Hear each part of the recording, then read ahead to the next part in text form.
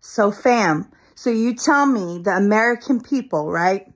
People come from all over the world to become citizens of America. And I love my American people. Don't get it twisted. But you're telling me that this is the land of the free? When we are the most oppressed.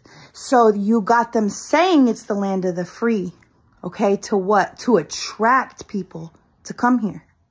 To, to attract people to come here to make them think it's the land of the free when we are actually the, the most oppressed. And listen to me, family. This is what God told me. God said the American dream is a hoax.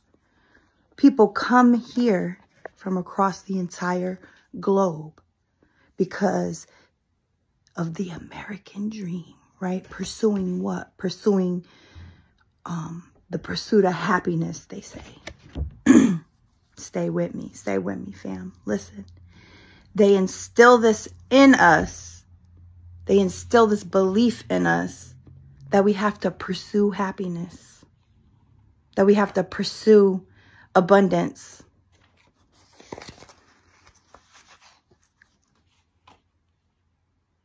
So you're telling me I have to do slave labor and things I don't want to do to pursue that's supposed to have me pursue happiness? and pursue abundance just to buy a bunch of shit? No, family. The happiness and abundance is already yours. The happiness abundance is already yours. You are happiness. You are abundance. You are love. You are everything. Okay?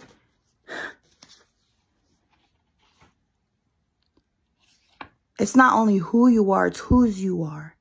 You are a child of God. As a divine child of God, it's your friggin' birthright to have happiness, to have abundance, to have peace and have joy. When, when, when did we, what kind of slavery system is this that we have to pursue happiness? And then it's become, they make it like it's, um, you know, you're even a better soul or a better spirit or a better person if you, you know, go and you pursue pursue it. When when you pursue something, you're in lack mentality because it's not yours. But I'm telling you as a child of the most high God, it's already yours. So if it's already yours, you just got to open your hand. You don't have to pursue. Okay. You don't have to chase. You just got to attract it. And the funny thing is when you think about it like that, that you just have to attract it, check this out. It's already yours. So if, okay. So if this, I'm getting frustrated. If this thing is already mine, okay, I just grabbed something. If this is already mine, this is my happiness. It's already mine. It's already in my hand. I don't have to open my hand to receive it.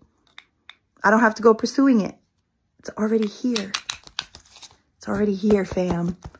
It's already here. I love you guys. Peace.